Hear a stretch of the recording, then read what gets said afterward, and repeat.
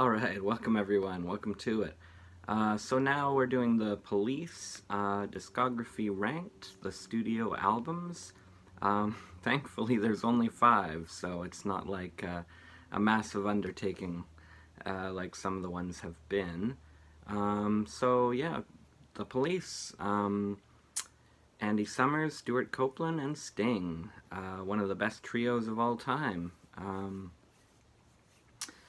and uh, of course, they were only together for about nine years. They were formed in 77, their debut came out in 78, and uh, yeah, they broke up in 86, I believe, uh, right at the height of, you know, superstardom. Their, their fifth album was actually their biggest, so they kind of went out on a high note when it comes to popularity.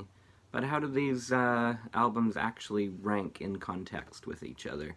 So, um, Obviously, this is just my personal opinion, and it comes from a place of love. I love all five of them, obviously, uh, for different reasons and that. And, um, yeah. So, we'll get right into it, and uh, this one will be number five. Um, obviously, Zenyatta Mondatta. Um, obviously, I'm going to mispronounce a lot of their album titles. Uh, so, yeah, this one obviously has... Um, don't Stand So Close to Me, the original version, which I think trumps the 86 version that they re-recorded so much. Like, that, that version to me is just boring adult contemporary. I don't really like that one very much. Not that there's even anything wrong with uh, adult contempo, but uh, yeah, this the version opening this is way better in my opinion.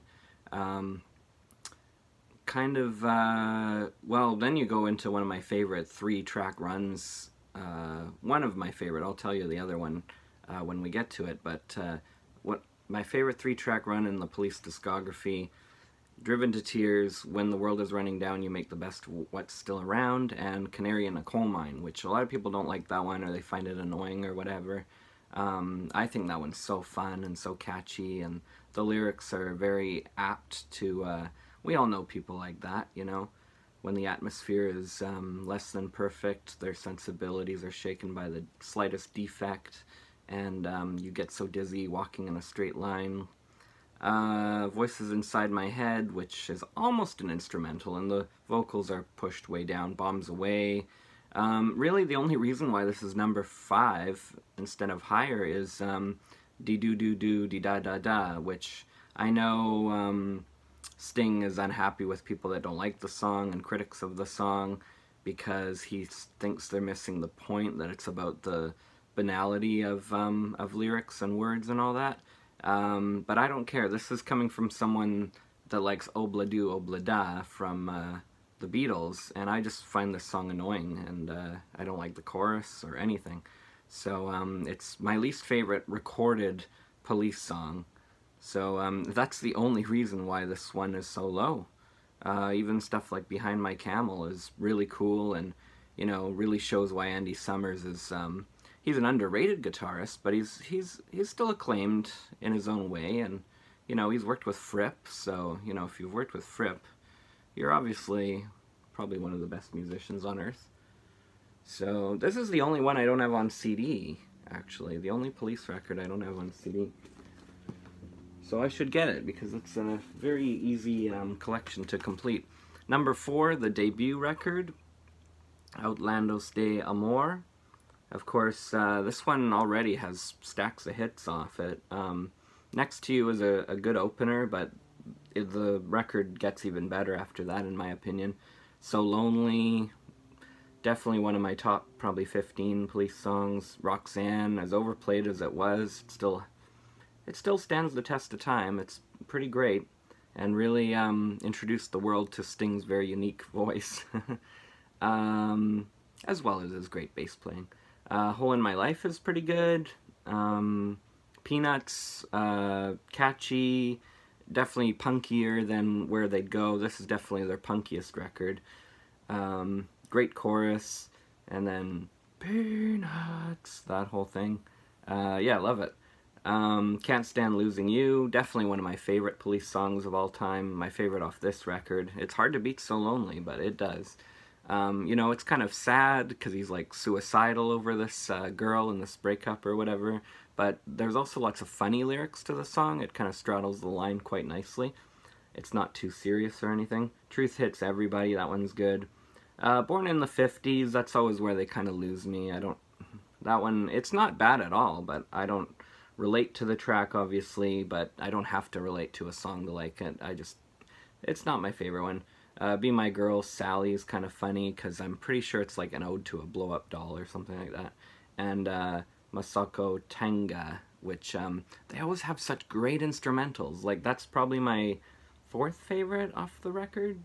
So yeah, they're they're such established musicians, and um, yeah, even the artwork is very punky. You know, kind of reminds me of the Clash, like that '77 era. This came out in '78, obviously.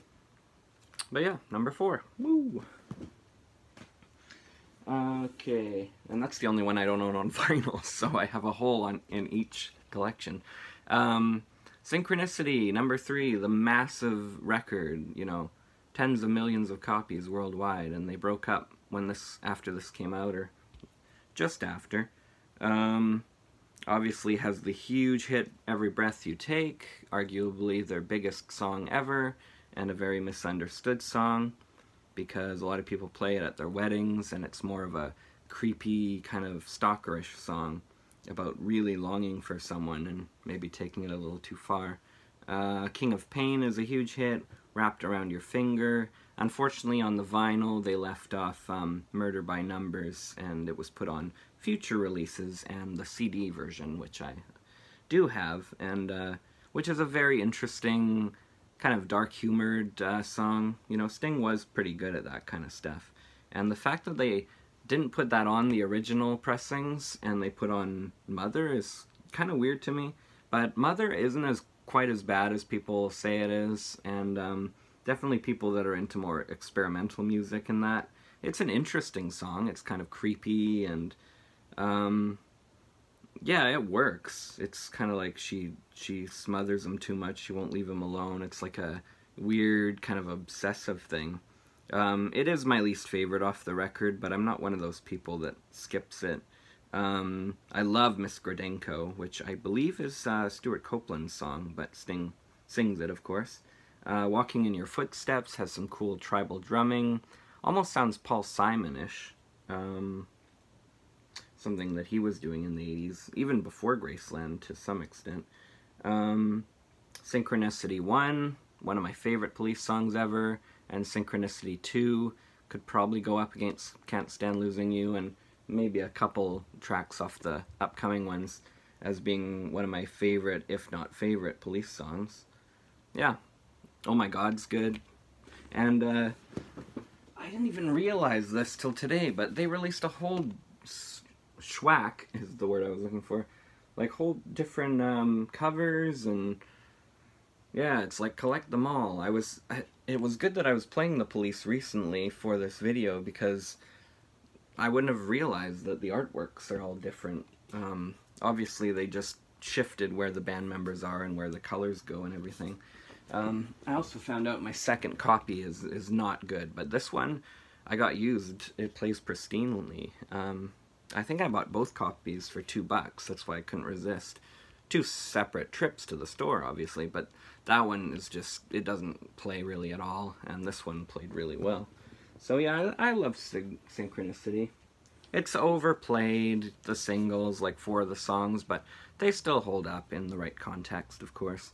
And this one I own three times because I bought it for a dollar at a record shop in Vancouver, I got one for free from a free bin with Wings, Band on the Run, and um, some other record I can't even remember right now. Some really obscure record by some band that never really made it. Um, maybe for good reason. um, and then I got one of my friend's, his stepdad's old copies. So I have this three times. Um, so I obviously can weed a couple out of the collection, but uh, yeah, Message in a Bottle, uh, definitely one of their most overplayed songs pre-synchronicity, but when you sit down and listen to it, like the drumming is incredible. You know, some people think the sending out an SOS part goes on a little too long. Uh, I disagree with that. Um, this one is has a more reggae flair than any of their other records. Uh, Reggatta de Blanc is a great instrumental. Um, Bring on the Night, great reggae. Walking on the Moon, everyone knows that one. That one's fantastic.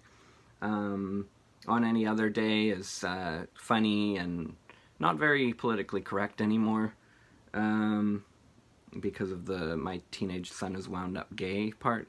And that one is, um, I believe Stewart and Sting are singing that one.